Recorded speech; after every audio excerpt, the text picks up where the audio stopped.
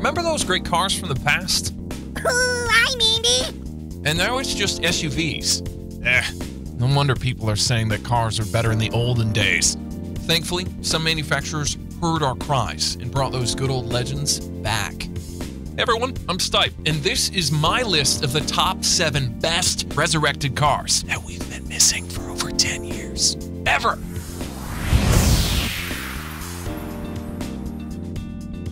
Number 7. Picture this beautiful Mediterranean weather, even more beautiful Italian roadster, and picking up your girl, who, by the way, is also beautiful. As they say, la dolce vita. The old Fiat 124 was your entry level car into such a lifestyle, a distant cousin of Lada 1300. The 124 ticked all the boxes that mattered. It was small, fun to drive, and beautiful to look at, but it was a Fiat. And you know what that means. Fix it again, Tony. Awful reliability killed the open top 124 as well as every other Italian or British sporty convertible for that matter. But now it's back and it's better than ever because underneath it's a Mazda MX5. Not just that, it's also built in Japan by the Japanese workers, not some slackers who take two hour lunch breaks. Here we take our time. There are, of course, some differences. It's slightly longer, wider, and much, much prettier. The retro inspired design still works well even after all these years. The engine is Fiat's own 1.4 turbo, which makes a little less power and joy compared to the Mazda, but I'm not bothered by that because the MX5 will remind you that driving is great, whereas the 124 will remind you that the whole life is great. Number 6. Oh, how the tables have turned from a gas guzzling poster boy to a car that even Greta Thunberg would approve of. The Hummer has gone through quite a transformation. They used to be these grossly oversized fake military vehicles that attracted people with small PPs and obnoxious personalities.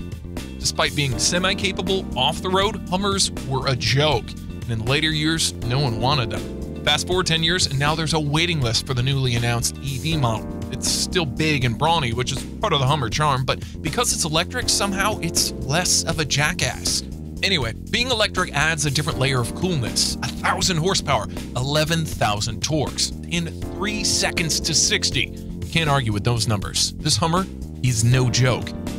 It works better in the wild too. Thanks to rear axle steering, it can drive around tight corners or drive diagonally, like a crab.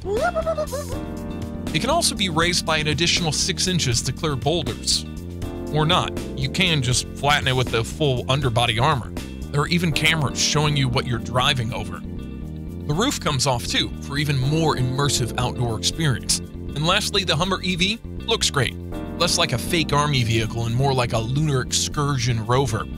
I like it a lot. Hmm. Does that mean my PP is small? Number 5. The A110 rose to fame in the early 1970s as a successful rally car.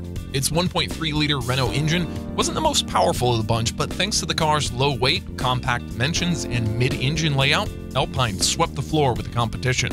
And it was absolutely gorgeous. Nearly 50 years later, Renault, with some help from Caterham, decided to revive the long dead Alpine with the modern interpretation of the A110. And well, here it is.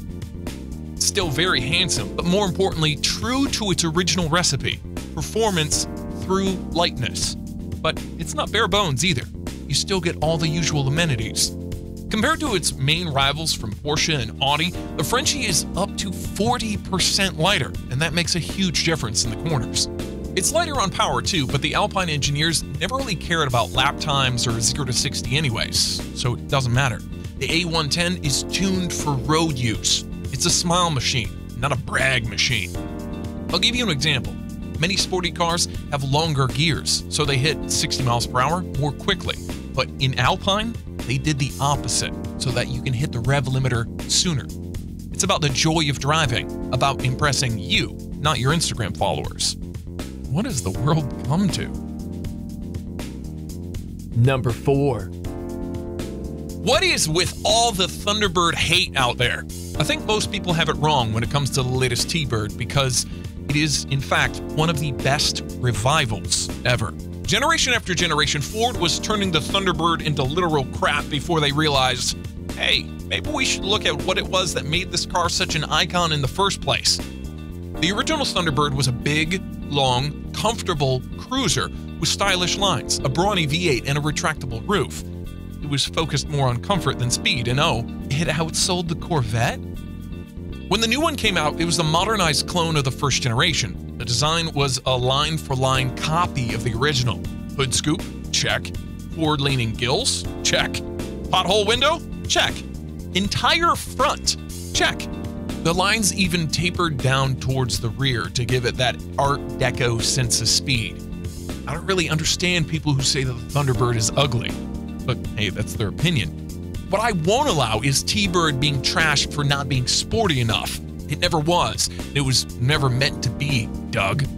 The 280 horsepower V8 with lots of torque is perfectly fine. The automatic gearbox is what you want in a car like this, and so is the softer suspension. It's a cruiser, like a budget Wraith drophead. If you ask the owners, they seem to love it. And I do too. Number 3. I have a confession to make. Calling the Aussie HSV Maloo stupid was wrong of me. I got so held up on that official marketing photo with the work tools in the back that I just couldn't see past it. That's fucking stupid. I mean, really. Anyway, Maloo is a coupe that traded the rear seats for more trunk space, so you can put the surfboard or barbecue or Jesse Pinkman in the back. What Maloo also is, is a modern El Camino. Think about it. It shares the chassis with a Camaro, has an LS engine, and, well, everything else Chevy since HSV is actually owned by GM. So don't be fooled, this is a 2016 El Camino with some wrong badges and a steering wheel at the wrong side. And this time around, the Camino wasn't just some aggro truck with a big engine. It's a proper performance machine with magnetic suspension, AP racing brakes, torque vectoring, launch control, and the option to pick different driving modes. Oh, and it had a supercharged V8 from the Camaro ZL1. You know, the nastiest Camaro ever made. But despite all the serious racing parts, most Maloo owners were interested only in running it between the lights and making a lot of smoke. Seriously, why wasn't this imported to the country known for its love of trucks? Number 2. Some may argue that the 2004 GT is a better pick. It looks about the same. The engine was a big V8, and even Carroll Shelby was involved in its development. But I feel that the first generation was more like a tribute to the GT40. Second generation, however, was a revival of what made the GT40 so great in the first place, beating Ferrari on a track. This new GT is a race car first and a road car second, just like the original. Everything is performance oriented. Twin turbo V6 is a better choice than a V8, dual clutch gearbox is faster than the manual, and extensive use of carbon and aluminium made it lighter too. And most people in Ford didn't even know that it was being developed. Right under their noses, a small group of hand-picked engineers was prepping for something very special. The 50th anniversary of Ford's 1-2-3 victory on Le Mans, where Ford humiliated Ferrari after Enzo insulted them. Hard. And so, on June 19, 2016, the American secret weapon was suddenly unveiled, painted red, white, and blue, standing proud at the starting line, next to its old rival, the Ferrari. And then it won. Again. That's right, mi amici. Don't you ever forget who can beat your ass whenever they feel like it. Number 1. What a sight that was. 2006 Detroit Motor Show with three of the iconic muscle cars revived in all their glory. None of the rebadged Mitsubishi or Catfish or Fox Body BS. These were the old school mean machines. But to me, one stood out among them as the ultimate muscle the Challenger. Years passed, and Camaro and Mustang became more, let's say, good in the corners. They had the hardcore version that would chase down Porsches around the tracks. Really? Muscle cars? Dodge never bothered with any of that. If you want to attack the corners, get a Viper ACR. But if you're checking out the Challenger, then you're probably just interested in straight line performance. Isn't that what muscle cars were all about in the first place? And like before, there are many versions of the Challenger to choose from. A V6 which we'll ignore in a whole family of V8s, like the 485 horsepower RT, 700 horsepower Hellcat, 800 horsepower Red Eye, and finally the 840 horsepower Demon, which can pull off a wheelie. Interesting thing about the Demon, the supercharger alone is 2.7 liters of displacement. Ridiculous? Maybe, but the sales numbers show that Dodge knows what their buyers want, and that is brick shaped. And now, can you guess the extra three great resurrected cars?